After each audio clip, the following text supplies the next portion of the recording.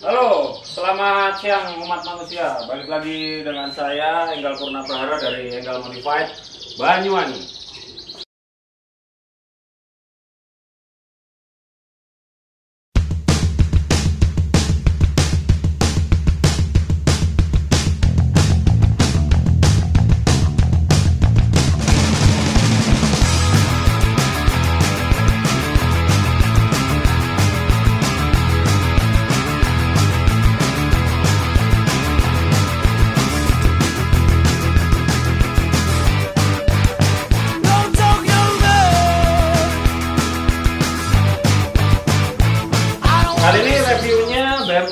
BMX pesannya orang jauh banget.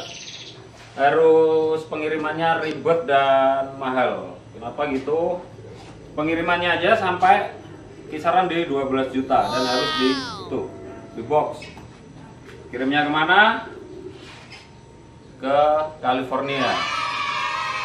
Kita minta tolong kawan Om Bimo untuk urusan pengirimannya karena kita nggak punya izin dan lain-lain yang ribet-ribet begitulah. BMX-nya untuk ini beda. Kenapa saya bilang beda? Material bahannya kita pakai yang schedule. Bedanya apa?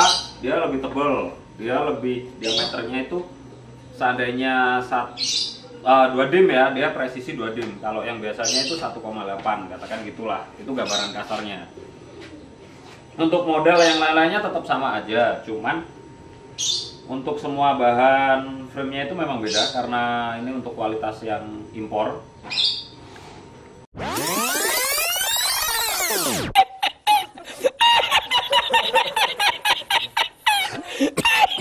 Ekspor. Jadi bukan untuk membedakan antara customer lokal dan luar negeri enggak sebenarnya sama aja dari sekilas semuanya. Itu tetap aja kita nggak ada yang dikurangin dan nggak ada yang ditambahin. Cuman permintaan pak bosnya aja dia minta bahan yang benar-benar tebel. Oke lah baik. Siap.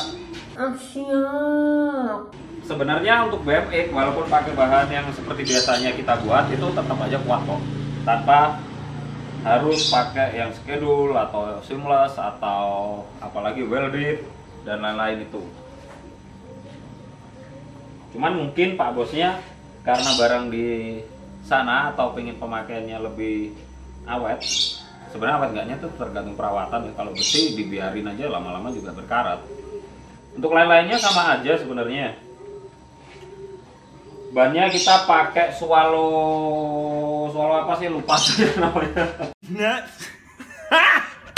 Gari. Swallow Street Enduro ukuran 110 17 depan belakang ukurannya sama untuk velgnya aja beda. Yang depan kita pakai 185 belakang 215 untuk rem kita pakai Brembo KW bukan Brembo Ori. Kalau Brembo Ori 12 juta. Eh, tromol belakang kita pakai Yamaha CNC atau yang udah bubut miling depan juga sama.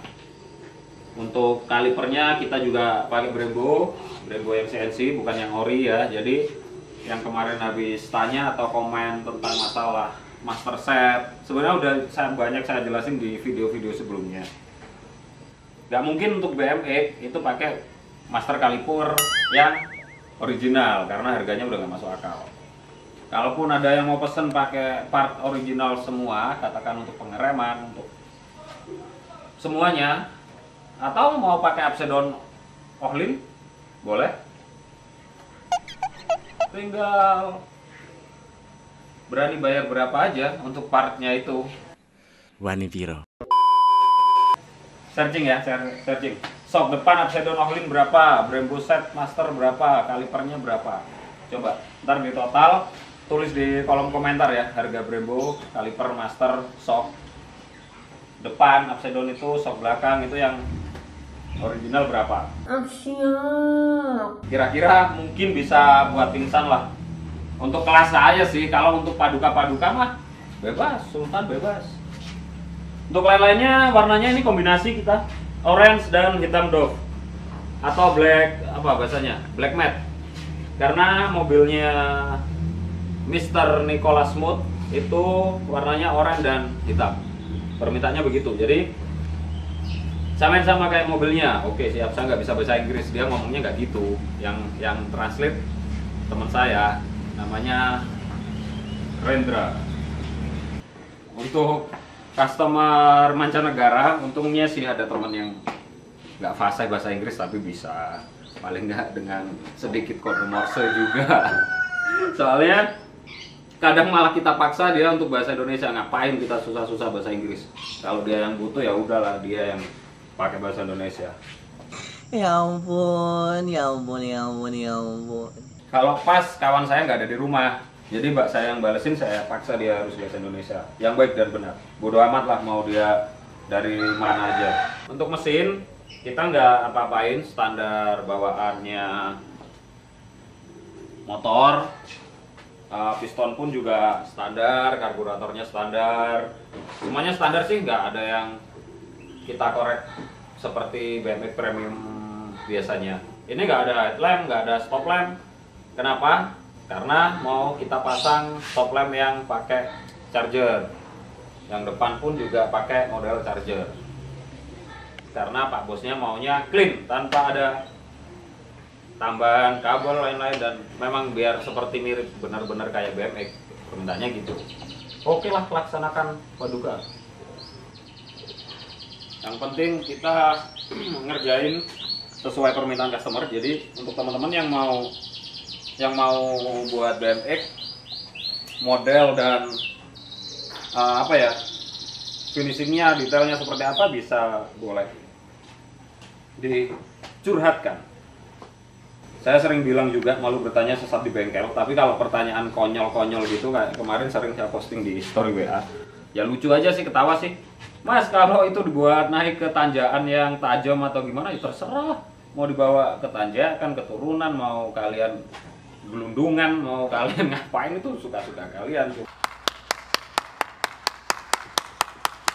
cuman pada dasarnya basic motor ini cuma dipakai buat santai. Nggak dipakai di medan ekstrim. Kalaupun mau dipakai di medan ekstrim, pastikan anda skill mengemudi anda di atas rata-rata. Kenapa saya bilang gitu? Karena juga nggak gampang berkendara di medan-medan yang ekstrim. Apalagi dengan bawa motor custom. Bukan saya bilang motornya yang nggak aman, karena ada review di video saya sebelumnya. Saya pakai apa ya? Abrakan atau apa itu? pakai freestyle juga motor nggak ada masalah nggak ada kendala cuman ngelakuin hal semacam itu memang perlu keterampilan nggak salah-salah tiba tiba-tiba.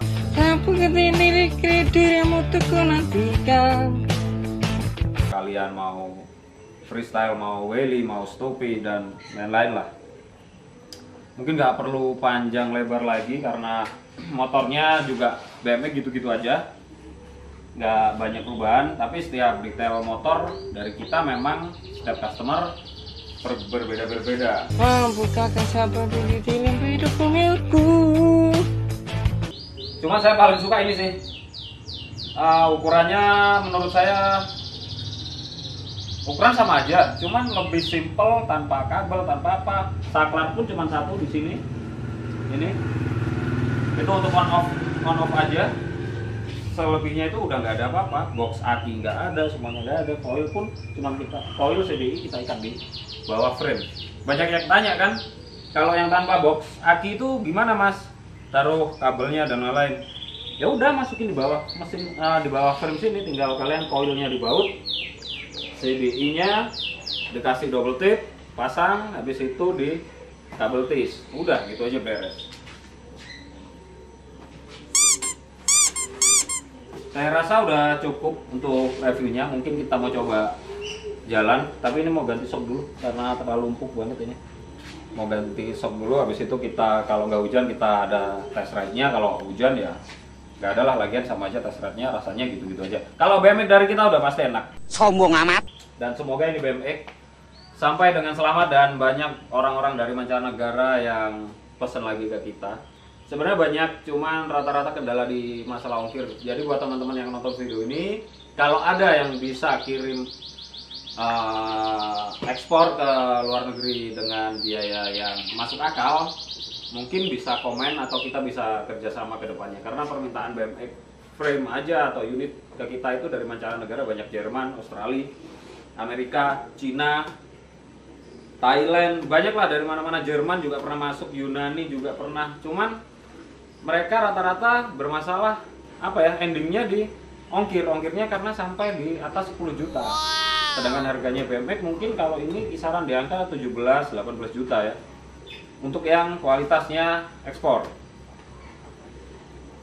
Jadi untuk teman-teman yang punya koneksi, punya link atau tahu caranya pengiriman dengan harga yang bersahabat, bisa komen di kolom komentar dan kita mungkin bisa lanjut chat via WA atau gimana.